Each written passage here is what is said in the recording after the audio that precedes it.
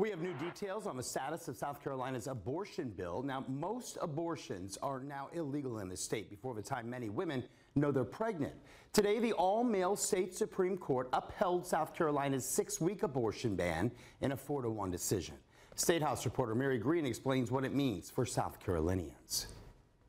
Planned Parenthood, which operates two of South Carolina's three abortion clinics, says providers have stopped abortion services for patients more than six weeks along in their pregnancy right now. It says that the majority of the 30 patients on the schedule at its Columbia clinic today were sent home once this ruling came down this morning. This is devastating. I'm not terribly surprised. I felt like it would ultimately go this way. I'm obviously gratified that it did. The Fetal Heartbeat and Protection from Abortion Act bans abortion after around six weeks into a pregnancy.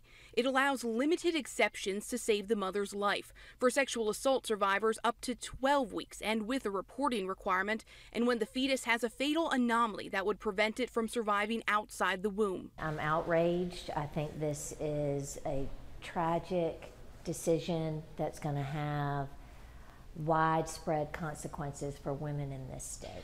In the majority opinion, Justice John Kittredge wrote, quote, the legislature has made a policy determination that at a certain point in the pregnancy, a woman's interest in autonomy and privacy does not outweigh the interests of the unborn child to live. As a court, unless we can say that the balance struck by the legislature was unreasonable as a matter of law, we must uphold the act.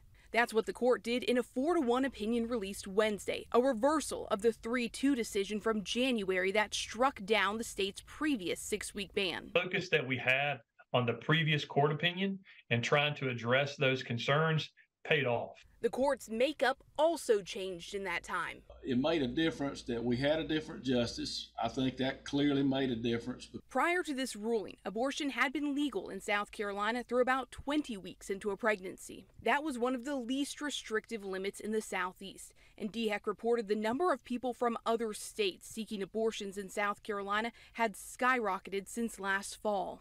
Not only does this policy mean that we're not going to have the destination state, but we're probably also going to reduce, almost certainly going to reduce what we were having historically anyway.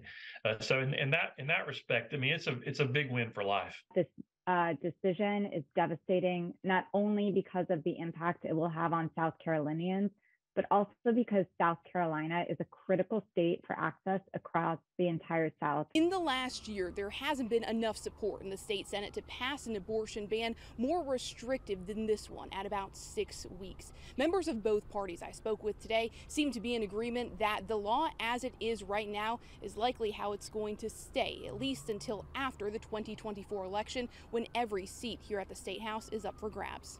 Reporting from the State House, I'm Mary Green.